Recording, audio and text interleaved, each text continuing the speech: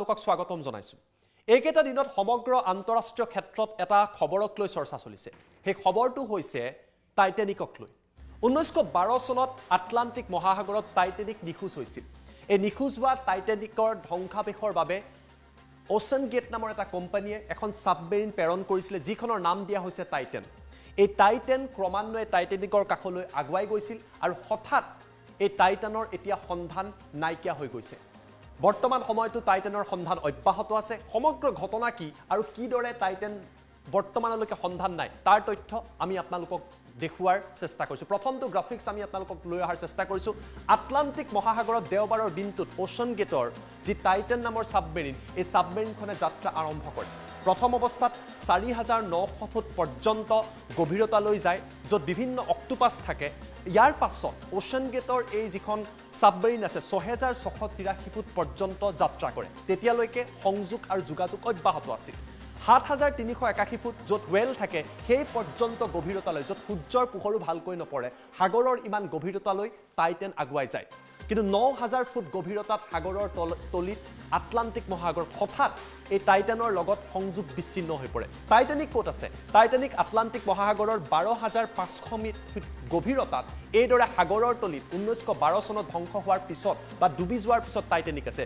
এই টাইটানৰ উদ্দেশ্য আছিলে যে আটলাণ্টিক মহাসাগৰত তেওঁলোকে গৈ এই সমগ্ৰ এই সমগ্ৰ যি অ'চেন গেটৰ এইখন এই যি পৰিকল্পনা আছিল তেওঁলোকৰ পৰিকল্পনা আছিলে যে আটলাণ্টিক মহাসাগৰ সাগৰত গৈ টাইটেনিকৰ ধ্বংসাৱেশ তেওঁলোকে পৰিদৰ্শন কৰিব। কিন্তু এই ছাবমেৰিন যিমানেই গভীৰতালৈ গৈ থাকিলে সিমানেই এই ছাবমেৰিনখনৰ বিপদ বাঢ়িলে। ক্ৰমান্বয়ে ছাবমেৰিনখনৰ আচলতে সাগৰৰ গভীৰতা কিমান আছিলে কিমান গভীৰত এই সমগ্ৰ টাইটেনিকৰ ধ্বংসাৱেশ আছে সেই কথা বুজিবলৈ চাওঁ। ন হাজাৰ ফুট গভীৰতাত অ'চেন গেটৰ এই ছাবমেৰিনখনৰ লগত যোগাযোগ বিচ্ছিন্ন হয় আৰু টাইটেনিক আছিল বাৰ হাজাৰ পাঁচশ ফুট গভীৰতাত ইয়াৰ ধ্বংসাৱেশ আছিল। এই ধ্বংসাৱেশ চোৱাৰে ইয়াৰ মূল উদ্দেশ্য আছিল। সমগ্ৰ এই সমগ্ৰ ঘটনাত কোন কোন জড়িত হৈ আছে আৰু কিদৰে উদ্ধাৰ অভিযান চলিছে তাৰ তথ্য গ্ৰাফিক্সৰ সহায়ত লৈ অহাৰ চেষ্টা কৰিছোঁ। টাইটানিকৰ সন্ধান বিচাৰি নিখোজ হৈছে টাইটান টাইটান কি? টাইটান হৈছে অ'চেন গেট নামৰ এটা কোম্পানীয়ে প্ৰস্তুত কৰা বা নিৰ্মাণ কৰা এখন ছাবমেৰিন টাইটানিকৰ সন্ধান বিচাৰি টাইটান নিখোজ হৈছে। আমি দ্বিতীয়টো গ্ৰাফিক্স লৈ অহাৰ বাবে অনুৰোধ কৰিছোঁ। সাগৰৰ গভীৰতাত এতিয়াও এই ছাবমেৰিনখনৰ সন্ধান নাই। টাইটেনিক যি অভিশপ্ত টাইটেনিক প্ৰায় পোন্ধৰশ লোকৰ মৃত্যু হৈছিলে। সেই টাইটেনিকৰ ধ্বংসাৱেশ চোৱাৰ বাবে টাইটেন গৈছিল। ওঠৰ জুনত অ'চেন গেটৰ টাইটেনে যাত্ৰা আৰম্ভ কৰিছিলে সাগৰৰ তলিলৈ। উদ্দেশ্য আছিল টাইটেনিকৰ ধ্বংসাৱেশ ওচৰৰ পৰা চোৱা। ইয়াত কোন কোন আছিলে? আটলাণ্টিক সাগৰত ডুব যোৱা টাইটেনিকৰ ধ্বংসাৱেশৰ বাবে এক বিশেষ প্ৰচেষ্টা লোৱা হৈছিল। আটলাণ্টিক সাগৰত ডুব যোৱা টাইটেনিকক যি ধ্বংসাৱেশ চোৱাৰ বাবে এই যাত্ৰা আৰম্ভ কৰিছিল। প্ৰায় তেৰ হাজাৰ ফুট গভীৰতাত এয়া টাইটেনিকৰ ধ্বংসাৱেশ আছে। ইয়াৰ পাছৰটো গ্ৰাফিক্স লৈ অহাৰ চেষ্টা কৰিছোঁ। পাঁচগৰাকীকৈ ব্যক্তিয়ে এই টাইটানত যাত্ৰা আৰম্ভ কৰিছিলে। সৰ্বমুঠ পাঁচজন ব্যক্তি আছিলে এই ছাবমেৰিনখনত কোন কোন আছিলে তাৰ তথ্য লৈ অহাৰ চেষ্টা কৰিম। এইকেইজন হৈছে এই পাঁচজন ব্যক্তি। ষ্টকচন ৰাজ ফেমিছ হাৰ্ডিং সমান্তৰালভাৱে শ্বাহজাদা দাউদ চুলেমান দাউদ আৰু পল হেনৰী নাৰ্গিন এই পাঁচোগৰাকী ব্যক্তিয়ে যাত্ৰা আৰম্ভ কৰিছিলে। উদ্দেশ্য আছিলে টাইটেনিকৰ ধ্বংসাৱেশ একেবাৰে কাষৰে পৰা চোৱা। কিন্তু তেওঁলোকৰ এতিয়ালৈকে সন্ধান নাই। ইয়াৰ পিছৰটো গ্ৰাফিক্স লৈ আহিছোঁ। ওঠৰ জুনৰ ৰাতিপুৱা আঠ বজাত টাইটানৰ যাত্ৰা আৰম্ভ হৈছিলে। ওঠৰ জুন এই যাত্ৰা তেওঁলোকে আৰম্ভ কৰিছিলে আৰু তিনি বজালৈ এই অ'চেন গেটৰ যি টাইটান আছিলে সেয়া উভতি অহাৰ কথা আছিলে। ইয়াৰ পাছৰটো গ্ৰাফিক্স আমি আপোনালোকক দেখুওৱাৰ চেষ্টা কৰিম। এঘণ্টা পঞ্চল্লিছ মিনিট সাগৰৰ তললৈ যোৱাৰ পাছত হঠাৎ টাইটানৰ যোগাযোগ বিচ্ছিন্ন হৈ পৰে। চাৰিদিন ধৰি কোনো ধৰণৰ অ'চেন গেটৰ টাইটেনৰ সন্ধান নাই। এই মুহূৰ্ততো উদ্ধাৰ অভিযান চলি আছে আৰু বাতৰি দি থকাৰ মাজতো এই ছাবমেৰিনখনৰ কোনো সন্ধান লাভ কৰিবলৈ সক্ষম হোৱা নাই। ইয়াৰ পাছৰটো গ্ৰাফিক্স লৈ আহিছোঁ। ছাবমেৰিনখনত মাত্ৰ আৰু সাত ঘণ্টাৰ অক্সিজেন বাকী আছে। পাঁচজন ব্যক্তি আছে। সময় যিমানেই গৈছে অধিক জটিল হৈ পৰিছে। সাত ঘণ্টাতকৈ এতিয়া কম সময় বাকী আছে বুলি ইউ এছ কোষ্ট গাৰ্ডে জনাইছে। ইয়াৰ পাছৰটো তথ্য লৈ আহিব বিচাৰিছোঁ। সময় যিমানেই পাৰ হৈছে সিমানেই সমগ্ৰ পৰিস্থিতি জটিল হৈ পৰিছে। যি টাইটানিকখন ডুব যোৱাৰ ফলত বহু লোকৰ মৃত্যু হৈছিলে বহুতৰ মৃতদেহ উদ্ধাৰ নহ'ল। সেই টাইটানিকৰ সন্ধান কৰাৰ বাবে বা সেই টাইটানিকৰ কাষত যোৱাৰ বাবে তেওঁলোকে যাত্ৰা কৰিছিলে। কিন্তু তেওঁলোকৰ এই যাত্ৰাও এক প্ৰকাৰৰ অভিশপ্ত হৈ পৰিছে। U S coast guard U S navy আৰু কানাডাৰ নৌ সেনাই বৰ্তমান সময়ত উদ্ধাৰ অভিযান এই বিষয়ক লৈ অব্যাহত ৰাখিছে। পাছৰটো গ্ৰাফিক্স আমি আপোনালোকক দেখুৱাম। ঊনৈছশ বাৰ চনত আটলাণ্টিক মহাসাগৰৰ এই স্থানতেই টাইটানিক ডুব গৈছিলে। টাইটানিকৰ কথা নতুনকৈ কোৱাৰ প্ৰয়োজন নাই ইয়াক লৈ আপোনালোকে ছবিও চাইছে। টাইটানিক যি এটা এক প্ৰকাৰৰ ট্ৰেজেডি আছিলে সেই ট্ৰেজেডিৰে এয়া পুনৰাবৃত্তি বুলি বহুতে ধাৰণা কৰিছে। ইয়াৰ পাছৰটো গ্ৰাফিক্স আমি লৈ আহিম। পোন্ধৰশতকৈ অধিক লোকৰ টাইটানিক ডুবাৰ ফলত মৃত্যু হৈছিলে আৰু টাইটানো সেই টাইটানিকৰ দিশতেই গৈ আছিলে। ইয়াৰ পাছৰটো গ্ৰাফিক্স দেখুৱাম। বহু লোকৰ মৃতদেহ টাইটানিকৰ যি ধ্বংস হৈছিলে তাত বহু লোকৰ মৃতদেহ আজিৰ দিনটোতো উদ্ধাৰ নহ'ল। ইমান বছৰৰ পিছতো তেওঁলোকৰ কোনো সন্ধান নাই। ইয়াৰ পাছৰটো গ্ৰাফিক্স আমি আপোনালোকক দেখুওৱাৰ চেষ্টা কৰিম। সেই অভিশপ্ত টাইটানিকৰ স্থানতেই সন্ধানহীন হৈছে টাইটান টাইটান টাইটানিকৰ সন্ধান আৰম্ভ কৰিছিলে কিন্তু এতিয়ালৈকে কোনো ধৰণৰ এই সাগৰৰ তলিত থকা এই ছাবমেৰিনখনৰ সন্ধান লাভ কৰিবলৈ সক্ষম হোৱা নাই। অ'চেন গেট যি যিটো এটা কোম্পানী আছে যিখন এই ছাবমেৰিন তাৰ এটা টিকটৰ মূল্য প্ৰায় দুই কোটি।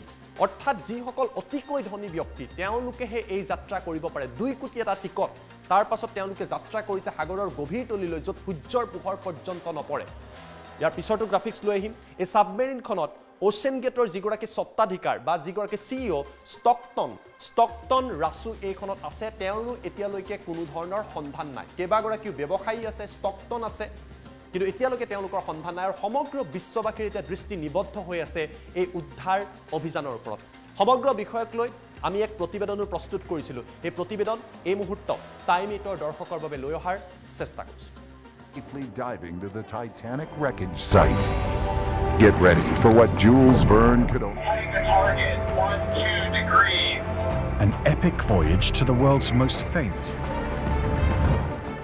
বিশ্বৰ প্ৰতিটো প্ৰান্তৰ লোকৰ এই মুহূৰ্তত দৃষ্টি নিবদ্ধ হৈ আছে আটলাণ্টিক মহাসাগৰৰ ওপৰত.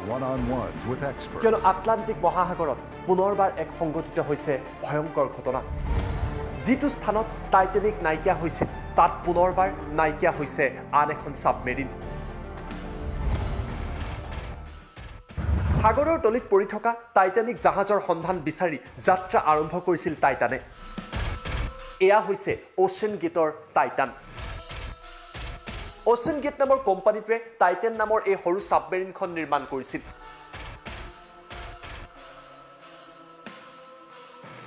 যিখনৰ আকাৰ এখন ট্ৰাকৰ সমান। এই ছাবমেৰিনখনত পাঁচজনকৈ লোকে সাগৰৰ তলিলৈ যাত্ৰা কৰিব পাৰে আৰু প্ৰায় চাৰিদিন ধৰি এই ছাবমেৰিনখনত অক্সিজেনৰ সুবিধা থাকে। কিন্তু আটলাণ্টিক মহাসাগৰৰ গভীৰতাত নাইকিয়া হৈ পৰিল এই টাইটান। ওঠৰ জুনত এই টাইটানে যাত্ৰা আৰম্ভ কৰিছিল সাগৰৰ তলিলৈ। উদ্দেশ্য আছিল আটলাণ্টিক মহাসাগৰত ডুব যোৱা টাইটানিকৰ ধ্বংসাভিক চোৱাৰ। সাগৰৰ তলিৰ প্ৰায় তেৰ হাজাৰ ফুট গভীৰতাত টাইটানিকৰ ধ্বংসাবেশ আছে। অৰ্থাৎ একেবাৰে সাগৰৰ তলিত পৰি আছে এই টাইটানিক জাহাজ। যিটো প্ৰান্তত সূৰ্যৰ পোহৰো নপৰে। প্ৰাণী বুলিবলৈও তাত প্ৰায় একো নাই বুলিবই ক'ব পাৰি। ইমান গভীৰতাত থকা টাইটানিকৰ ধ্বংসাবেশ চোৱাৰ বাবেই অ'চেন গেটৰ টাইটানে যাত্ৰা কৰিছিল। এই টাইটানত আছিল পাঁচগৰাকীকৈ ব্যক্তি। Stockton Rush Hamish Harding Shahzada Dawood Suleman Dawood আৰু পল হেনৰী নাৰ্গেলে। এই পাঁচগৰাকী যাত্ৰীয়ে ৰাতিপুৱা আঠ বাজি ত্ৰিছ মিনিটত যাত্ৰা আৰম্ভ কৰে। কিন্তু এঘণ্টা পঞ্চল্লিছ মিনিট সাগৰৰ তললৈ যোৱাৰ পিছত হঠাৎ তেওঁলোকৰ মাজত যোগাযোগ বিচ্ছিন্ন হয়। বিগত প্ৰায় চাৰিদিন ধৰি অ'চেন গেটৰ টাইটানৰ কোনো ধৰণৰ সন্ধান নাই। উল্লেখযোগ্য যে সময় যিমানেই গৈছে পৰিস্থিতি সিমানেই জটিল হৈ পৰিছে। কিয়নো সৰু এই ছাবমেৰিনখনত মাত্ৰ সাত ঘণ্টাৰহে অক্সিজেন বাকী আছে। ইয়াৰ অৰ্থ এয়া হৈছে সাত ঘণ্টাৰ ভিতৰত যদি টাইটানক বিচাৰি নাপায় তেতিয়াহ'লে এই লোকসকলৰ মৃত্যু সুনিশ্চিত। U S coast guard U S navy আৰু কানাডাৰ নৌসেনাই বৰ্তমান সময়ত উদ্ধাৰ অভিযান অব্যাহত ৰাখিছে।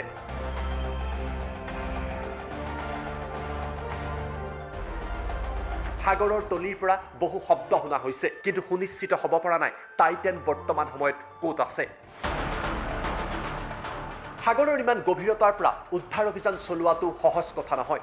বহু প্ৰত্যাহ্বানৰ সন্মুখীন হ'বলগীয়া হৈছে উদ্ধাৰকাৰী দল। উল্লেখযোগ্য যে ঊনৈছশ বাৰ চনত আটলাণ্টিক মহাসাগৰত ডুব গৈছিল টাইটানিক জাহাজখন। জাহাজ ডুবাৰ ইতিহাসত টাইটেনিকৰ এই ঘটনা অতিকৈ কৰুণ আছিল। কিয়নো এই দুৰ্ঘটনাত পোন্ধৰশ লোকৰ মৃত্যু হৈছিল। এনে বহু লোকৰ মৃতদেহ কেতিয়াও হয়তো পোৱাই নগ'ল। আপুনিও হয়তো জেমছ কেমেৰুনৰ টাইটেনিক ছবিখন চাইছে গতিকে টাইটেনিকৰ কাহিনীৰ বিষয়ে জানে। এই টাইটেনিকৰ সন্ধানতেই যোৱা টাইটান এতিয়া ক'ৰবাত যেন সন্ধানহীন হৈছে। টাইটানিকৰ পোন্ধৰশ লোকৰ দৰে টাইটানত থকা এই পাঁচগৰাকী যাত্ৰীও নাইকিয়া হৈ পৰিব নেকি? এনে বহু প্ৰশ্নৰ অৱতাৰণা হৈছে। অভিশপ্ত টাইটানিকৰ স্থানতেই যেন সন্ধানহীন হৈ পৰিছে টাইটান।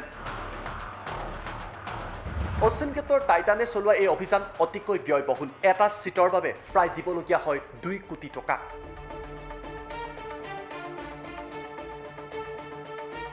উল্লেখযোগ্য যে অচন গেটৰ এই যাত্ৰাত টাইটানৰ ভিতৰত আছে অচন গেটৰ স্বত্বাধিকাৰী ষ্টকটন ৰাছু সমগ্ৰ বিশ্ববাসীৰ দৃষ্টি এতিয়া এই উদ্ধাৰ অভিযানৰ ওপৰত নিবদ্ধ হৈ আছে। আটলাণ্টিক মহাসাগৰৰ গভীৰতাৰ পৰা টাইটেনক উদ্ধাৰ কৰিব পৰা যাবনে নাযায়? নে টাইটানিকৰ দৰেই টাইটেন এইদৰে সাগৰত নিখোজ হৈ পৰিব? সেয়া হয়তো মাত্ৰ কেইটামান ঘণ্টাৰ পিছতহে গম পোৱা যাব।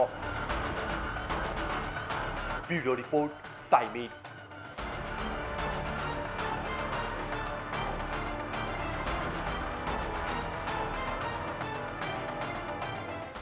Diving to the Titanic wreckage site. Get ready for what Jules Verne could only. Heading to target, one, two degrees. An epic voyage to the world's most famous. বিশ্বৰ প্ৰতিটো প্ৰান্তৰ লোকৰ এই মুহূৰ্তত দৃষ্টি নিবদ্ধ হৈ আছে আটলাণ্টিক মহাসাগৰৰ ওপৰত One-on-ones with experts. কিয়নো আটলাণ্টিক মহাসাগৰত পুনৰবাৰ এক সংঘটিত হৈছে ভয়ংকৰ ঘটনা যিটো স্থানত টাইটেনিক নাইকিয়া হৈছিল তাত পুনৰবাৰ নাইকিয়া হৈছে আন এখন ছাবমেৰিন সাগৰৰ তলিত পৰি থকা টাইটানিক জাহাজৰ সন্ধান বিচাৰি যাত্ৰা আৰম্ভ কৰিছিল টাইটানে। এয়া হৈছে অ'চেন গেটৰ টাইটান। অ'চেন গেট নামৰ কোম্পানীটোৱে টাইটেন নামৰ এই সৰু ছাবমেৰিনখন নিৰ্মাণ কৰিছিল।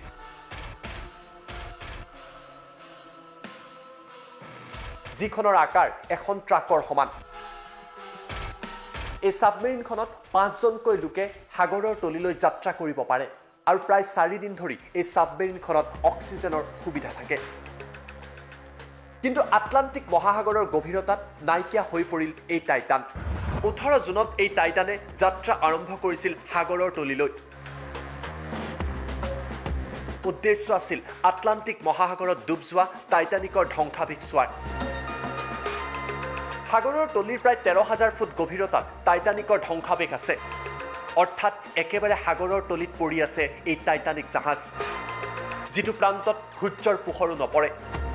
প্ৰাণী বুলিবলৈ তাত প্ৰায় একো নাই বুলিবই ক'ব পাৰি। ইমান গভীৰতাত থকা টাইটানিকৰ ধ্বংসাবেশ চোৱাৰ বাবেই অ'চেন গেটৰ টাইটানে যাত্ৰা কৰিছিল। এই টাইটানত আছিল পাঁচগৰাকীকৈ ব্যক্তি। Stockton Rush Hamish Harding Shahzada Dawood Suleman Dawood আৰু পল হেনৰী নাৰ্গেলে। এই পাঁচগৰাকী যাত্ৰীয়ে ৰাতিপুৱা আঠ বাজি ত্ৰিছ মিনিটত যাত্ৰা আৰম্ভ কৰে। কিন্তু এঘণ্টা পঞ্চল্লিছ মিনিট সাগৰৰ তললৈ যোৱাৰ পিছত হঠাৎ তেওঁলোকৰ মাজত যোগাযোগ বিচ্ছিন্ন হয়। বিগত প্ৰায় চাৰিদিন ধৰি অ'চেন গেটৰ টাইটানৰ কোনো ধৰণৰ সন্ধান নাই। উল্লেখযোগ্য যে সময় যিমানেই গৈছে পৰিস্থিতি সিমানেই জটিল হৈ পৰিছে। কিয়নো সৰু এই ছাবমেৰিনখনত মাত্ৰ সাত ঘণ্টাৰহে অক্সিজেন বাকী আছে। ইয়াৰ অৰ্থ এয়া হৈছে সাত ঘণ্টাৰ ভিতৰত যদি টাইটানক বিচাৰি নাপায় তেতিয়াহ'লে এই লোকসকলৰ মৃত্যু সুনিশ্চিত। U S coast guard U S navy আৰু কানাডাৰ নৌসেনাই বৰ্তমান সময়ত উদ্ধাৰ অভিযান অব্যাহত ৰাখিছে।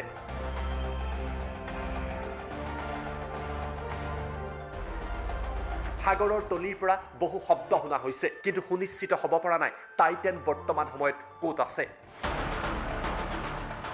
সাগৰৰ ইমান গভীৰতাৰ পৰা উদ্ধাৰ অভিযান চলোৱাটো সহজ কথা নহয় বহু প্ৰত্যাহ্বানৰ সন্মুখীন হ'বলগীয়া হৈছে উদ্ধাৰকাৰী দল।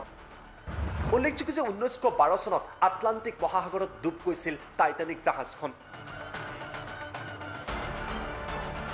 জাহাজ ডুবাৰ ইতিহাসত টাইটেনিকৰ এই ঘটনা অতিকৈ কৰুণ আছিল। কিয়নো এই দুৰ্ঘটনাত পোন্ধৰশ লোকৰ মৃত্যু হৈছিল। এনে বহু লোকৰ মৃতদেহ কেতিয়াও হয়তো পোৱাই নগ'ল। আপুনিও হয়তো জেমছ কেমেৰুনৰ টাইটেনিক ছবিখন চাইছে গতিকে টাইটেনিকৰ কাহিনীৰ বিষয়ে জানে। এই টাইটেনিকৰ সন্ধানতেই যোৱা টাইটান এতিয়া ক'ৰবাত যেন সন্ধানহীন হৈছে। টাইটানিকৰ পোন্ধৰশ লোকৰ দৰে টাইটানত থকা এই পাঁচগৰাকী যাত্ৰীও নাইকিয়া হৈ পৰিব নেকি? এনে বহু প্ৰশ্নৰ অৱতাৰণা হৈছে। অভিশপ্ত টাইটানিকৰ স্থানতেই যেন সন্ধানহীন হৈ পৰিছে টাইটান। অচিন গেটৰ টাইটানে চলোৱা এই অভিযান অতিকৈ ব্যয়বহুল। এটা ছিটৰ বাবে প্ৰায় দিবলগীয়া হয় দুই কোটি টকা।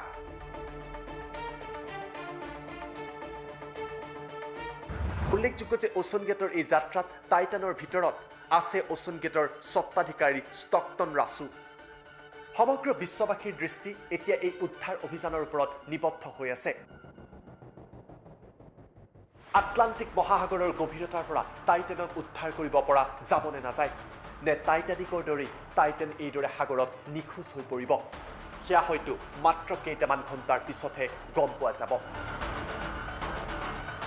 Bureau' report time eight.